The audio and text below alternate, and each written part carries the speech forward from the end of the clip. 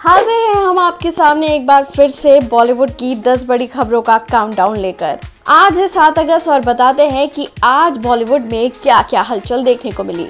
Number one Bell Bottom team के साथ London रवाना हुए अक्षय कुमार। जी हाँ, अक्षय कुमार, लारा दत्ता, हुमा कुरैशी प्रोड्यूसर जैकी भगनानी दीपशिका देशमुख और डायरेक्टर रंजीत एम तिवारी को हाल ही में एयरपोर्ट पर देखा गया। आपको बता दें कि बेल बॉटम की टीम ने अपने पहले इंटरनेशनल शूट स्केड्यूल के लिए यूके के लिए एक चार्टर से उड़ान भरी। सभी मास्क और दस्ताने पहने नज़र आए और सभी को आवश्यक सावधानी बरतते हुए देखा गया। Number two Sushant Singh Rajput case में हुआ बड़ा खुलासा। सुशांत की पर्सनल डायरी से गायब है कुछ पन्ने। जी हाँ मीडिया को मिली इंफॉर्मेशन के मुताबिक सुशांत की पर्सनल डायरी से कुछ पेजेस गायब हैं। दावा किया जा रहा है कि इस डायरी के कुछ पेजेस को फाड़ा गया है। इस मामले में सुशांत के चचेरे भाई नीरज कुमार बबलू का कहना है कि वो डायरी लिखता था। मेरे सामने पुलिस वाले चार पाँच डायरी ले गए थे। मुझे लगा था कि अच्छी बात है जाँच के लिए ले जा रहे हैं। मुझे नहीं पता था कि सबूतों से छेड़छाड़ हुई है। मुंबई पुलिस का चेहरा पूरे देश के सामने आ गया है। Number three. Sushant Singh Rajput case मामले में ईडी के ऑफ़िस पहुँची एक्ट्रेस रिया चक्रवर्ती। आपको बता दें कि आर्थिक अपराध मामलों की जाँच करने वाली एजेंसी ईडी ने इस मामले में 15 करोड़ रुपए के संदिग्ध लेन देन को लेकर मनी लॉन्ड्रिंग का केस दर्ज किया है। दरअसल सुशांत के परिवार की ओर से रिया पर पैसे निकलवाने धोखाधड़ी और मानसिक प्रताड़ना देकर आत्महत्या के लिए मजबूर करने का केस दर्ज कराया है। और ईडी ने इस मामले में सुशांत के दोस्त सिद्धार्थ पिठानी और रिया की पूर्व मैनेजर श्रुति मोदी को भी समन किया है। नंबर फोर, सड़क टू की रिलीज़ से पहले बवाल सोशल मीडिया पर उठी बॉयकॉट की मांग। दरअसल हाल ही में आलिया भट्ट ने सोशल मीडिया पर फ़िल्म का पोस्टर रिलीज़ किया, लेकिन पोस्टर रिलीज़ के साथ ही फ़िल्म को बॉयकॉट करने की मांग भी तेज हो गई। सोशल मीडिया पर फ़िल्म के खिलाफ अलग ही मुहिम शुरू कर दी गई है और देखते ही देखते हैश टैग बॉयकॉट बॉलीवुड फ़िल्म ट्रेंड होने लगा। दरअसल सुशांत की डेथ के बाद निपोटिज्म के बहाने हर किसी ने आलिया पर निशाना साधा और इसलिए अब उनकी फ़िल्म सड़क टू की डिजिटल रिलीज़ पर फैंस ने अपना गुस्सा ज़ाहिर किया है। नंबर फाइव शाहरुख खान के प्रोडक्शन में बनी बॉबी देओल की फ़िल्म क्लास ऑफ़ 83 का ट्रेलर रिलीज़ हो चुका है, जिसने आते ही फैंस का दिल जीत लिया है। इस फ़िल्म में बॉबी देओल खाकी वर्दी में एक रौबदार पुलिस ऑफिसर के रोल में नज़र आ रहे हैं। एक्शन और थ्रिलर से भरपूर क्लास ऑफ़ 83 के ट्रेलर में मुंबई पुलिस की जाबाजी दिखाई गई है।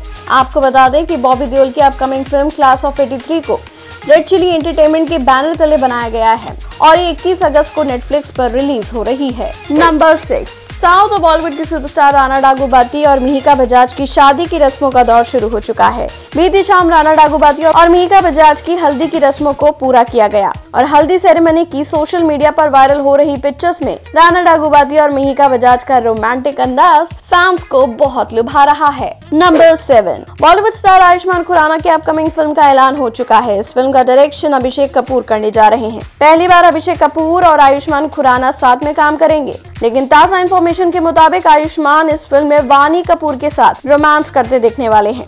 मेकर्स ने अब तक आयुष्मान की फ़िल्म के नाम को फाइनल नहीं किया है, लेकिन आयुष्मान की फ़िल्म की कहानी एक लव स्टोरी होगी। इस फ़िल्म में आयुष्मान एक एथलीट का किरदार निभाते नज़र आएँगे। इस फ़िल्म की शूटिंग अक्टूबर 2020 से शुरू की जाएगी, जिसकी इन्फॉर्मेशन फ़िल्म क्रिटिक करण आदर्श ने ट्वीट करके दी। नंबर एट सीबीआई ने बिहार पुलिस की रिक्वेस्ट पर गुरुवार को छह आरोपियों के खिलाफ केस दर्ज किया और मामले की जाँच अपने हाथ में ले ली। सीबीआई ने सुशांत की गर्लफ्रेंड रही रिया चक्रवर्ती समेत कुल छह लोगों के खिलाफ केस दर्ज किया है, जिसमें रिया के पिता इंद्रजीत, माँ संध्या, भाई शोभिक सहयोगी सैमुल मिरांडा और श्रुति मोदी शामिल है। नंबर नाइन इस वीकेंड कपिल शर्मा के शो में चीन के परिवार वाले शो में पहुँचे। इस दौरान सभी ने एक दूसरे को लेकर कई खुलासे किए। अर्चना के पति परमीर सेठी भी शो में पहुँचे और उन्होंने इस दौरान अर्चना के साथ अपनी शादी के बारे में खूब खुलासे किए। वहीं शो में सपना का किरदार निभाने वाले कृष्णा की वाइफ कश्मीरा शाह भी शो में पहुँची। नंबर टेन सामने आई रिया चक्रवर्ती की कॉल डिटेल्स जी हाँ आपको बता दें कि रिया की कॉल डिटेल्स एक साल की है, जिसमें खुलासा हुआ कि रिया मुंबई के एक टॉप कॉप के साथ कांटेक्ट में थी। आपको बता दें कि मुंबई बैंड्रा के डीसीपी अभिषेक त्रिमुखी और रिया दोनों के बीच 21 जून से 18 जुलाई के बीच पाँच बार बातचीत हुई और एक मोबाइल टेक्स्ट मैसेज का एक्सचेंज हुआ था। इसी के साथ कॉल डिटेल्स में ये बात भी सामने आई है कि रिया ने एक साल में महेश भट्ट को 16 बार कॉल किया था। बॉलीवुड की latest news gossip film review song reviews के लिए सब्सक्राइब करें हमारे चैनल क्रेजी फॉर बॉलीवुड को। And yes don't forget to press the bell icon ताकि हमारे चैनल पे आई कोई भी नई इन्फॉर्मेशन आप बिल्कुल भी मिस ना कर पाएँ।